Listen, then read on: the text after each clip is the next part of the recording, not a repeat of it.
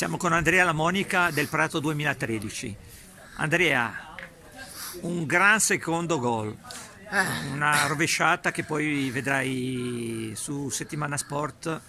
Fammi un po' un commento dalla partita, direi ho visto che Ma siamo andati, spingevi. eh, siamo andati sotto meritatamente, anche se ha, ha trovato il gol della domenica, però ci sta. Poi il secondo gol noi ci siamo azzerati come al solito di testa, hanno fatto anche il secondo e purtroppo noi di testa andiamo, patiamo sempre un sacco.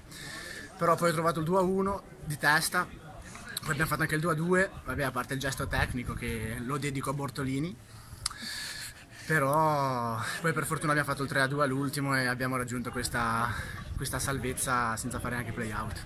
Sì, direi che anche c'è stato l'innesto del numero 17, eh, se mi vuoi dire il nome che io non ricordo, che è servito molto. eh, di Pastorino, fatti, Pastorino, molto di giovane, fatti, è un ragazzo del 99, dicembre 99, molto promettente secondo me, e pecca ancora un po' di, della sua giovane età, quindi qualche errorino, passa poco, prende tanti calci, però è veramente un giovane promettente. Vabbè, però vi ha, tolto, vi ha tolto dalle castagne e dal fuoco. Vabbè, 11 gol per essere la prima esperienza in una prima squadra con i grandi, fare 11 gol, 12 gol, scusami, non è male per un 99. Va bene, dai, in bocca al lupo per il prossimo campionato e niente, complimenti, gran secondo bel gol. Ciao, Grazie mille. arrivederci. Grazie ciao. mille, ciao, arrivederci. Ciao.